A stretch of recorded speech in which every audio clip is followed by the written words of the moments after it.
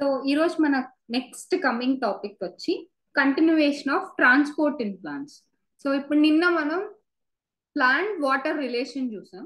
So ఈ రోజు మనం ఇంబైబిషన్ చూడబోతున్నాం.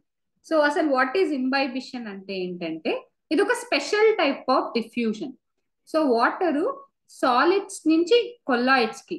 సో అంటే వాల్యూమ్ పెరగడాన్ని మనం ఇంబైబిషన్ అంటాం. ఫర్ ఎగ్జాంపుల్ ఎలాగంటే మనకి వింటర్ సీజన్లో యూజువల్గా మన డోర్స్ చాలా ఉబ్బిపోతాయి అన్నమాట వాల్యూమ్ పెరిగిపోతుంది. వాల్యూమ్ పెరిగిపోయినందువల్ల మనం డోర్ లాక్ చేయడం చాలా కష్టం అవుతుంది డోర్ క్లోజ్ చేసేటప్పుడు మనం కొంచెం ప్రాబ్లం ఫేస్ చేస్తాం. సో కాబట్టి మనం ఏంటంటే సారీ దాన్ని కొంచెం షేప్ చేయడం కానీ అవన్నీ చేస్తాం. అది దేని వల్ల అంటే మెయిన్గా ఇంబైబిషన్ వల్ల. అంటే ఆ లిక్విడ్ కంపోనెంట్ ఈ సాలిడ్ లోపలికి వెళ్ళి అలా ఫిక్స్ అయిపోతే దాన్నే ఇంబైబిషన్ అంటాం. So the classical example of imbibition ఏంటంటే మీకు absorption of water by seeds ఇంకా dry wood. Seeds dry wood వాటర్ని అబ్జార్బ్ చేసుకోవడాన్ని ఇంబైబిషన్ అంటాం. Okay? And next the pressure is produced by swelling of wood. So మనకి wood swell అయినప్పుడు pressure create అవుతుంది. So the prehistoric man to split rocks and boulders rocks boulders ఇవి fill ఇవి split చేయడానికి ఈ technique వాడేవాళ్ళు అనమాట అంటే కొన్ని రాక్స్లో ఈ వుడ్ ఫిట్ చేసినప్పుడు ఆ తీసుకునే వాటర్కి అది స్పిల్ ఇది స్పెల్ స్వెల్ అవుతుంది. ఆ స్వెల్లింగ్ అప్పుడు మనకి ఆబ్వియస్గా ఆ రాక్స్ అనేవి స్ప్లిట్ అవుతాయి. సో దానికోసం ఇది వాడేవాళ్ళు. If it were not for a pressure due to imbibition seedlings will not have the ability to emerge ఆ వాటర్ కానీ అలా అబ్జర్వ్ చేసుకొని స్వీట్స్ వెళ్ళవకపోతే సీడ్స్లో నుంచి గ్రోత్ ఎమర్జ్ అవ్వదు. Out of the soil in to open they probably would not have been able to establish ఈ ఇంబైబిషన్ లేకపోతే గ్రోత్ అనేది ఎస్టాబ్లిష్ చేయడం కష్టం అయిపోతుంది ఇంబైబిషన్ని కూడా మనం డిఫ్యూజన్ అనే అంటాం. So since water movement along the concentration gradient జరుగుతుంది కాబట్టి. ఫర్ ఎగ్జాంపుల్ మీరు ఒక సీడ్లింగ్ సీడ్ని ఒక సాయిల్లో సో చేసి వాటర్ పోసారు. అంటే వాటర్ అనేది సాయిల్లో ఎక్కువ ఉంటుంది సీడ్ కంటే కూడా. అప్పుడు హయ్యర్ కాన్సన్ట్రేషన్ నుంచి లోవర్ కాన్సన్ట్రేషన్కి వాటర్ వెళ్తుంది. సీడ్ ఇంకా కొన్ని సబ్స్టెన్సెస్ వాటర్ని అబ్జర్వ్ చేసుకోవడం చాలా ఈజీగా అలా జరిగిపోతుంది. So water potential gradient so between the absorbent and the liquid imbibe is essential for imbibition మనకి వాటర్ పొటెన్షియల్ కూడా ఎసెన్షియల్ కదా. వాటర్ పొటెన్షియల్ ఎక్కువ నుంచి వాటర్ పొటెన్షియల్ తక్కువకి వెళ్తుంది అనమాట వాటర్ అంతే. సేమ్ డిఫ్యూషన్ లాగానే.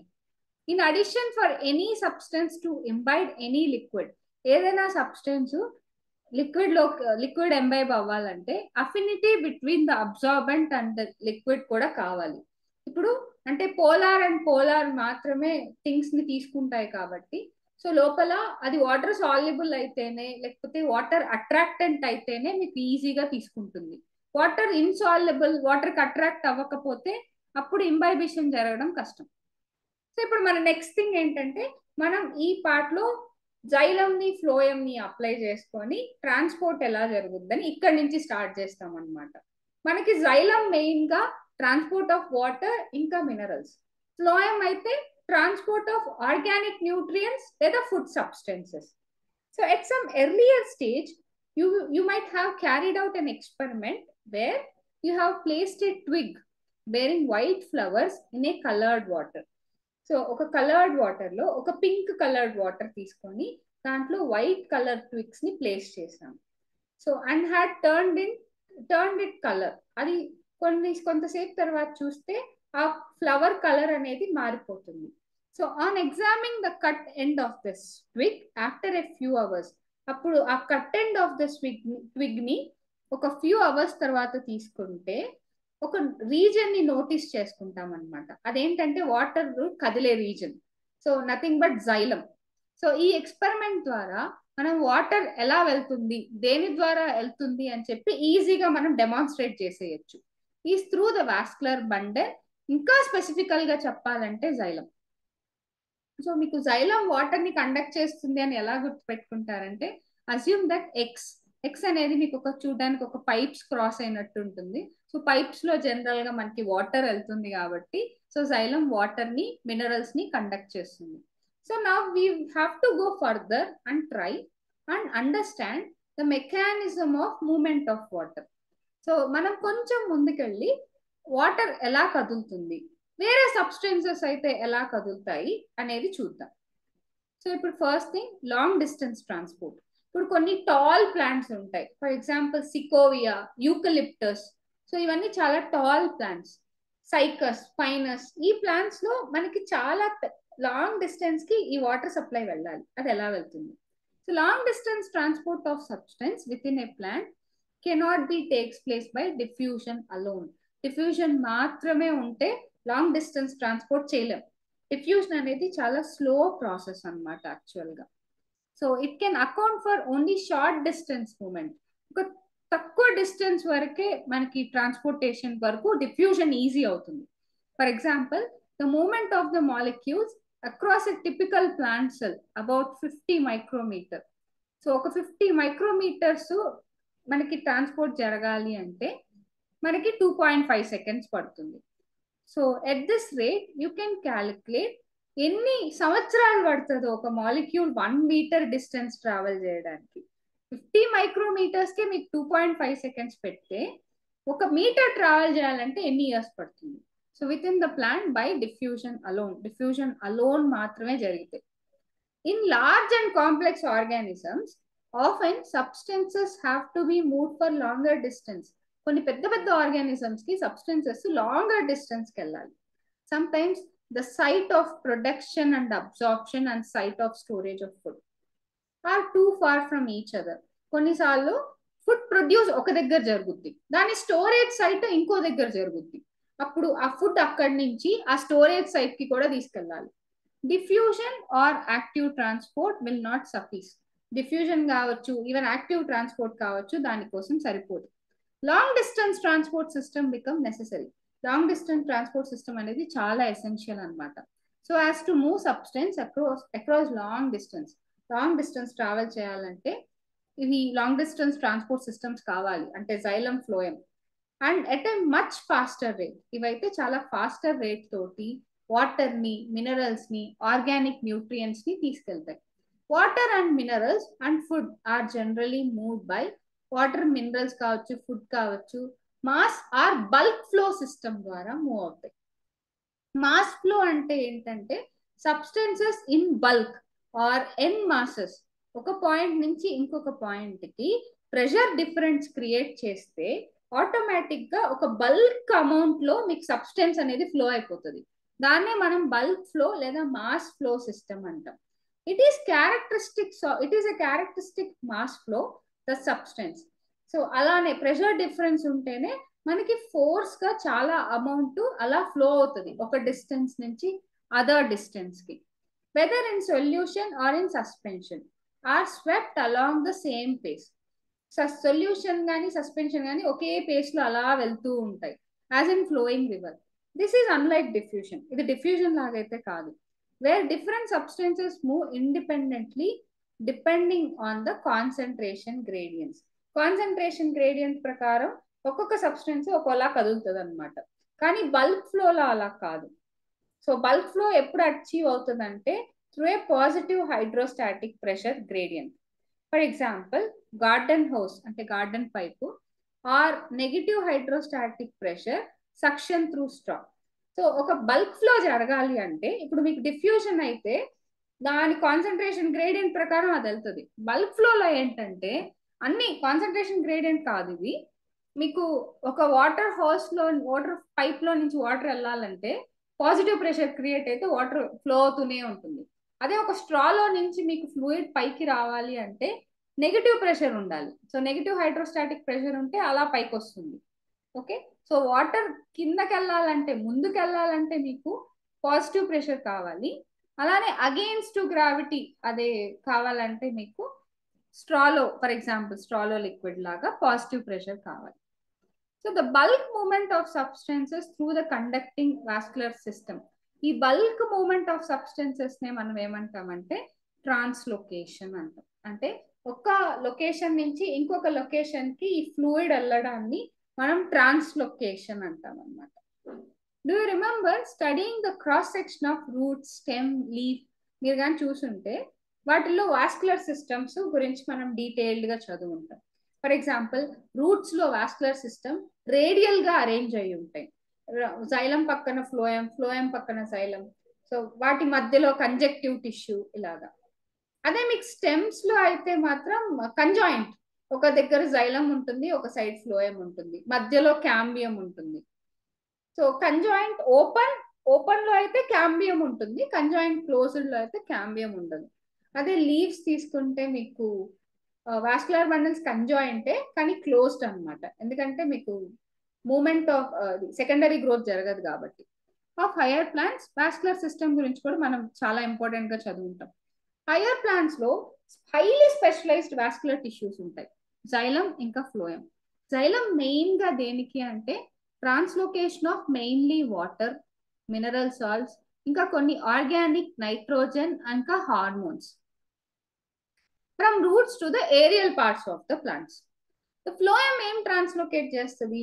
ఆర్గానిక్ ఇంకా ఇన్ఆర్గానిక్ సొల్యూట్స్ మెయిన్గా లీవ్స్ నుంచి అదర్ పార్ట్స్కి ట్రాన్స్లోకేట్ చేస్తుంది. సో జైలం ఒక పని చేస్తుంది ఫ్లోయం ఒక పని చేస్తుంది.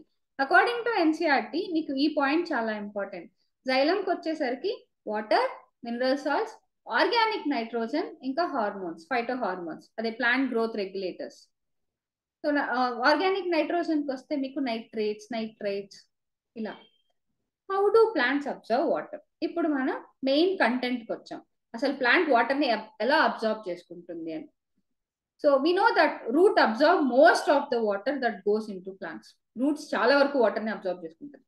Absolutely that is why we apply water to the soil అందుకే మనం వాటర్ని సాయిల్ సాయిల్లో పోస్తాం. నాట్ టు ద లీవ్స్ లీవ్స్కి కాకుండా సాయిల్కి వేస్తాం అందుకని. ఎందుకంటే రూట్స్ ఎక్కువ వాటర్ని అబ్జార్బ్ చేసుకుంటాయి కాబట్టి.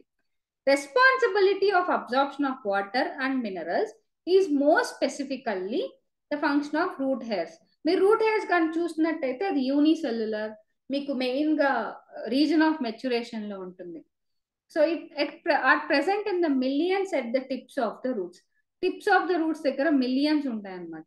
Root hairs are thin walled slender extension of root epidermis మీరు అనాటమీ ఆఫ్ ఫ్లవరింగ్ ప్లాంట్స్ చూసినట్టయితే అక్కడ రూట్ ఎపిడర్మిస్ మీద మీకు ఎక్స్టెన్షన్స్ ఉంటాయి. అవి యూనిసెల్యులర్ ఎక్స్టెన్షన్స్ అవే నథింగ్ బట్ రూట్ హెయిర్స్ అవి మామూలుగా ఏంటంటే సర్ఫేస్ ఏరియాని బాగా పెంచుద్ది అబ్జార్ప్షన్ కోసం. Water is absorbed along with the mineral solutes mineral సొల్యూట్స్తో పాటు మనకి వాటర్ కూడా అబ్జార్బ్ అయిపోతుంది రూట్ హెయిర్స్ ద్వారా. Purely by diffusion. ఒకసారి వాటర్ కానీ అబ్జార్బ్ అయితే రూట్ హెయిర్స్ ద్వారా అది డీపర్ లేయర్ ఆఫ్ రూట్స్కి వెళ్తుంది అనమాట మెయిన్గా టూ పాత్వేస్ ఉంటాయి. ఇప్పుడు మీరు ఇక్కడ చూసినట్టయితే ఎపిడర్మిస్ తర్వాత కార్టెక్స్ దాని తర్వాత ఎండోడర్మిస్ దాని తర్వాత పెరిసైకిల్ దాని తర్వాత జైలం సో దాని తర్వాత మీకు ఫైనల్గా పిత్ ఉంటుంది. డైకాట్ రూట్స్లో అయితే మీకు పిత్ ఇన్కాన్స్పిక్యుయస్ పెద్దగా కనిపించదు. మోనోకాట్లో అయితే బాగా కాన్స్పీక్యుయస్గా పిత్ కనిపిస్తుంది సో ఇప్పుడు మనం ఈ వాటర్ ఎలా ట్రాన్స్పోర్ట్ అవుద్దో చూద్దాం. సో మీరు డైకాట్ రూట్స్లో చూసినట్టయితే క్యాస్పీరియన్ స్ట్రిప్స్ అని చూసుంటారు. ఈ టాంజాంటియల్ ఇంకా మీకు రేడియల్ వాల్స్లో మెయిన్గా స్యూబరిన్ డిపాజిషన్ ద్వారా అది వాటర్ ఇంపర్మియబుల్గా ఉంటుంది. సో దాన్నే మనం క్యాస్పీరియన్ స్ట్రిప్స్ అంటాం. సో ఇప్పుడు two types of transport system చూస్తున్నాం ఇక్కడ మనం. ఫస్ట్ వచ్చి అపోప్లాస్ట్ సో అపోప్లాస్ట్ అంటే ఏంటంటే adjacent cell walls that continues throughout the plant except at the casparian స్ట్రిప్స్లో తప్ప మిగతా వాటిల్లో సెల్ వాల్స్ అనేది ఒకదాని పక్కన ఒకటి ఒకదాని పక్కన ఒకటి వాటర్ని కండక్ట్ చేసుకోగలవు. క్యాస్పీరియన్ స్ట్రిప్స్లో తప్ప ఎక్సెప్ట్ ఇక్కడ తప్ప. So the apoplastic movement of water occurs exclusively to the inter intercellular spaces and the walls of the cells so movement through apoplast doesn't involve crossing of the cell membrane cell మెంబ్రెయిన్ని కాకుండా cell membrane ద్వారా వెళ్ళదు ఇది ఇది ఎలా వెళ్తుందంటే so ఈ cell wall నుంచి ఈ సెల్ వాల్ నుంచి ఈ సెల్ వాల్ ఈ సెల్ వాల్ నుంచి ఈ సెల్ వాల్కి ఫైనల్గా ఇలా లోపలికి వెళ్తుంది లేదా ఇక్కడ నుంచి ప్లాస్మోడెస్మేటా ద్వారా ఈ సెల్కి వెళ్తుంది సో ఇలా ఈ వయా ప్లాస్మోడెస్మేటా ఇప్పుడు ఇక్కడ కాశ్మీరియన్ స్ట్రిప్స్ ఉన్నాయి సో ఇక్కడ క్రాస్ అవ్వలేదు. సో కాబట్టి ఈ సెల్ లోపలికి వెళ్ళి మళ్ళీ ప్లాస్మోడెస్మేటా ద్వారా ఈ పెరిసైకిల్ ద్వారా వెళ్ళి అలా జైలం లోపలికి వెళ్ళిపోతుంది. ఈ జైలం నుంచి మాస్ బల్క్ ద్వారా మనకి అసెండ్ అయిపోతుంది water. Water mineral salts organic uh, nitrogen అలాగా uh, ఫైటో హార్మోన్స్ సో కానీ మెంబ్రెయిన్ ద్వారా మాత్రం ట్రాన్స్పోర్ట్ అవ్వదు. This movement is dependent on the gradient అంటే హయ్యర్ కాన్సన్ట్రేషన్ నుంచి లోవర్ కాన్సన్ట్రేషన్ వరకు. The apoplast do not provide any barrier to water movement apoplast ఎటువంటి బ్యారియర్ని ప్రొవైడ్ ప్రొవైడ్ చేయదు. And water movement is through mass flow అలా వెళ్ళిపోతూ ఉంటుంది అనమాట as water evaporates into the inter cellular spaces or at the atmosphere tension develop in continues stream of water in the apoplast ఎప్పుడైనా సరే water evaporate అయినప్పుడు tension develop అయ్యి అలా absorb అవుతూ ఉంటుంది. Hence mass flow of water occur due to adhesive and cohesive properties of the water next symplast చూద్దాం. Symplast అంటే ఏంటంటే is the system inter connected protoplast neighbouring cells we call it as through cytoplasmic strands మెయిన్గా plasmodesmata ద్వారా మనకి conduction జరిగితే దాన్ని మనం symplast అంటాం. సో సిన్ అంటే కలవడం. So during symplast movement water travels through the cell their cytoplasm intercellular movement is through plasmodesmata. Water has to enter the cell through the cell membrane. ఇలా plasmodesmata ద్వారా వెళ్తే water cell membrane ద్వారానే లోపలికి వెళ్ళాలి. వెళ్ళిన తర్వాత ఈ మూమెంట్ చాలా స్లోగా ఉంటుంది. అపోప్లాస్ట్ కంటే ఇది స్లోగా ఉంటుంది. Movement is again down down a potential gradient symplast movement may be aided by cytoplasmic streaming cytoplasmic streaming ద్వారా you may observe the cytoplasmic streaming in the cells of hydrilla leaf hydrilla లీఫ్లో మనం క్లియర్గా చూడొచ్చు. The movement of chloroplast during the streaming is easily visible so ఇప్పుడు మీరు ఇక్కడ నుంచి చూసినట్టయితే so ఇలా వెళ్ళడం అపోప్లాస్ట్ ఈ సెల్ మెంబ్రెయిన్ ఈ సెల్ వాల్ నుంచి ఈ సెల్ వాల్ ఈ సెల్ వాల్ నుంచి ఈ సెల్ వాల్ ద్వారా వెళ్ళడం అపోప్లాస్ట్ ఇక్కడ దాకా అపోప్లాస్ట్కి వెళ్ళింది ఇప్పుడు ఇక్కడ నుంచి సింప్లాస్ట్ ద్వారా సెల్ మెంబ్రెయిన్ ద్వారా ఇది లోపలికి వెళ్ళిపోతుంది. లోపలికి వెళ్ళిపోయి ఇక్కడ నుంచి మనకి ప్లాస్మోడెస్మేటా ద్వారా పెరిసైకిల్కి రీచ్ అవుతుంది. ఎందుకంటే ఇక్కడ మధ్యలో క్యాస్పీరియన్ స్ట్రిప్స్ ఉన్నాయి కాబట్టి. ఇప్పుడు ఇక్కడ కూడా సెల్ మెంబ్రెయిన్ ద్వారా లోపలికి వెళ్ళి మళ్ళీ ప్లాస్మోడెస్మేటా ద్వారా epidermis to cortex. Cortex to endodermis. Endodermis to pericycle. మీకు ఈ లైట్ కలర్లో ఉండేవన్నీ కూడా సింప్లాస్ట్ ట్రాన్స్పోర్ట్. ఈ డార్క్ కలర్లో వెళ్ళేవన్నీ కూడా అపోప్లాస్ట్ ట్రాన్స్పోర్ట్. ఇప్పుడు next. So most of the water flow in the roots occur via apoplast. ఎందుకంటే since the cortical cells are loosely arranged కార్టెక్స్లో ఉండేది మనకి పారెన్కైమా సెల్స్ కదా. సో కాబట్టి ఎక్కువ అపోప్లాస్ట్ ద్వారానే వెళ్తుంది. హెన్స్ ఆఫర్ రెసి నో రెసిస్టెన్స్ టు వాటర్ వాటర్కి ఎటువంటి రెసిస్టెన్స్ని అప్లై చేయదు. However inner boundary of the cortex the endodermis అది వాటర్ని పర్మిట్ చేయదు. ఎందుకంటే దాని మ్యాట్రిక్స్ ట్యూబరైజ్డ్ మ్యాట్రిక్స్ ఉంది కాబట్టి వాటి cell వాల్స్లో. So water molecules will be unable to penetrate the layer so they are directed to the walls which are not suberized ఎక్కడైతే suberin లేదో దాని వాల్స్ ద్వారా అది లోపలికి వెళ్తుంది. త్రూ ద సెల్ మెంబ్రెయిన్ అప్పుడు ఏమవుతుంది వాటర్ అక్కడి నుంచి సింప్లాస్ట్ ద్వారా జైలం కి రీచ్ అయిపోతుంది. సో ఇలా అపోప్లాస్ట్ సింప్లాస్ట్ ద్వారా బయట సాయిల్ నుంచి జైలం దాకా వాటర్ రీచ్ అవుతుంది. The what the movement of water through the root layers is ultimately simpl symplast in the endodermis endodermis లో సింప్లాస్ట్ తప్ప మనకి వేరే ఆప్షన్ లేదు. It is the only way the water and other solutes can enter the vascular cylinder ఇప్పుడు ఇక్కడ చూసినట్టయితే ఇది root hair. Root hair నుంచి మనకి సింప్లాస్టిక్ పాత్వే ఇలా ఉంటుంది స్ట్రైట్గా. ఎందుకంటే ప్లాస్మోడెస్మేటా ద్వారా వెళ్తుంది కాబట్టి ఇలా వెళ్ళి ఇలా జైలం ని రీచ్ అవుతుంది. సో ఇది అదే అపోప్లాస్టిక్ అయితే సెల్ వాల్స్ ద్వారా ఇలా వెళ్ళి ఎక్సెప్ట్ ఇక్కడ ఆగిపోతుంది. ఎందుకంటే ఇక్కడ క్యాస్పీరియన్ స్ట్రిప్ ఉంది కదా ఈ క్యాస్పీరియన్ స్ట్రిప్ని క్రాస్ అవ్వలేదు కాబట్టి.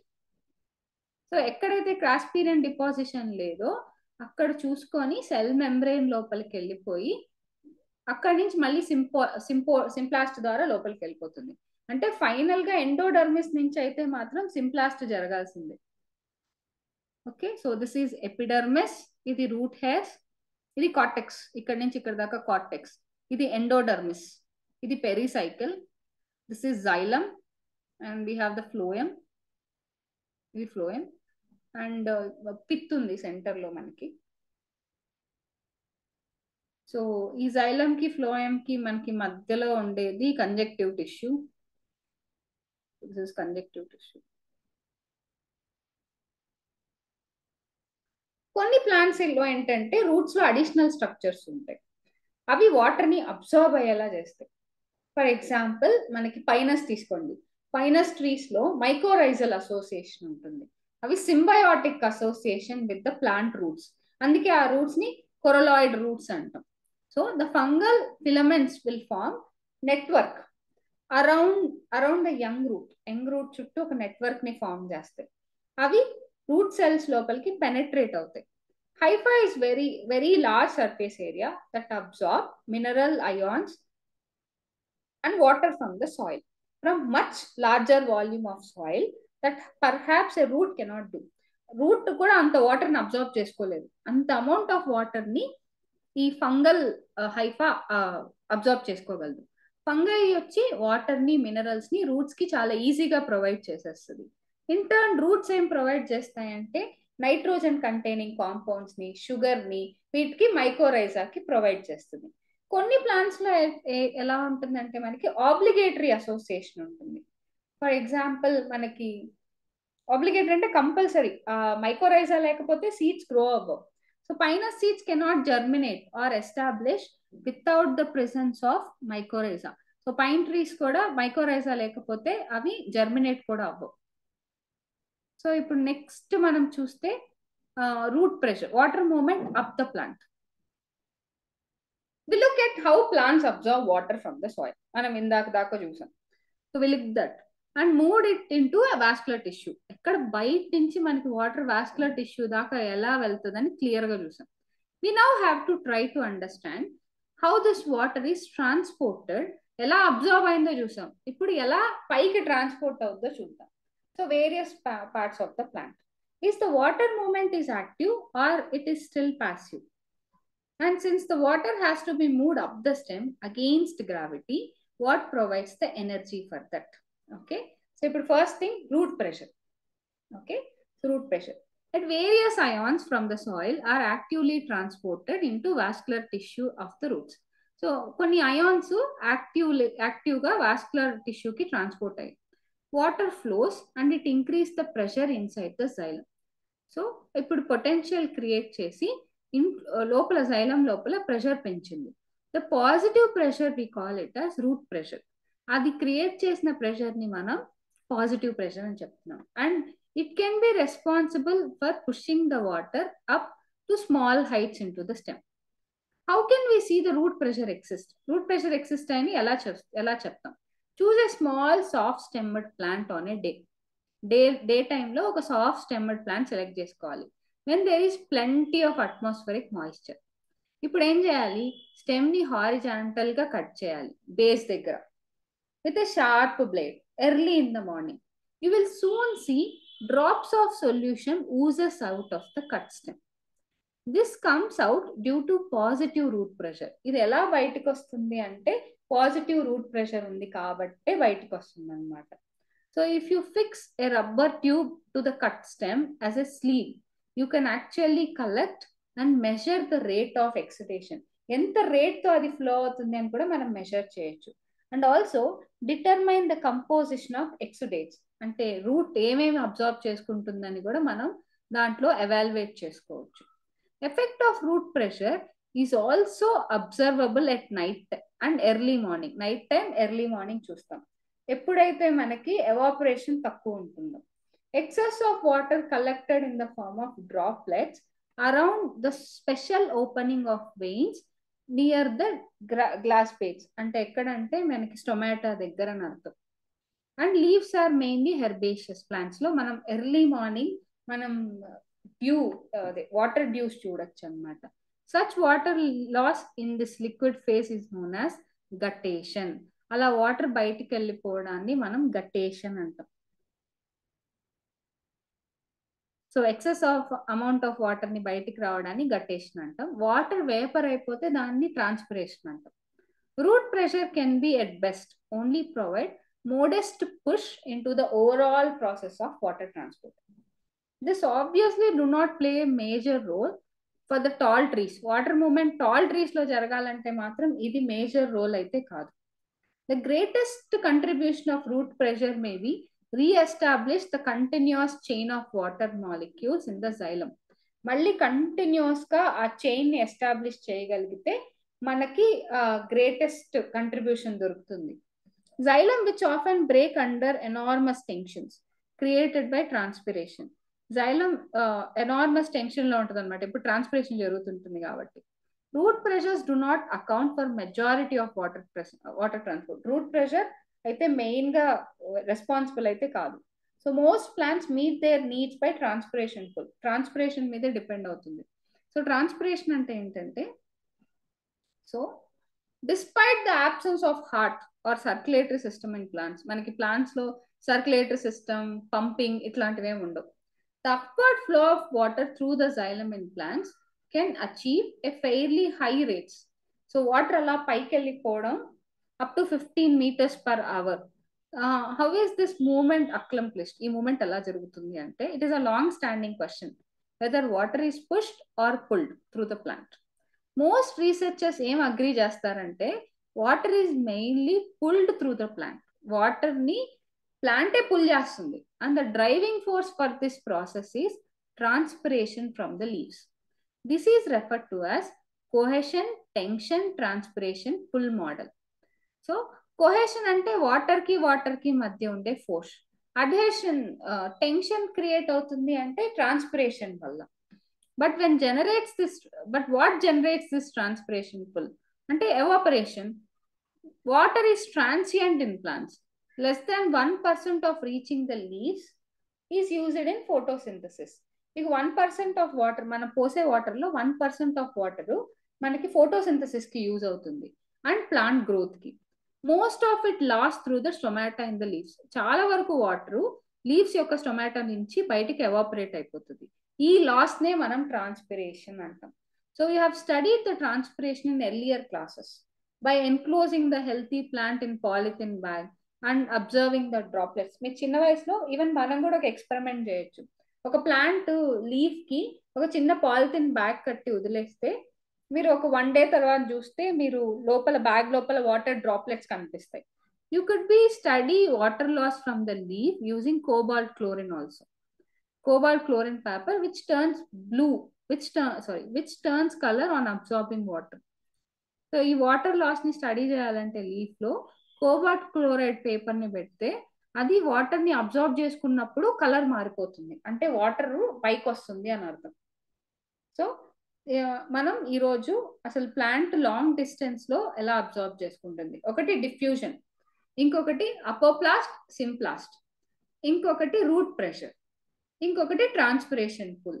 సో ఇవన్నీ కూడా వాటర్ని అబ్జార్బ్ పైకి అన్ని మీటర్స్ అబ్జర్వ్ చేసుకోవడానికి చాలా వరకు మనకి హెల్ప్ చేస్తుంది అని తెలుసుకున్నాం.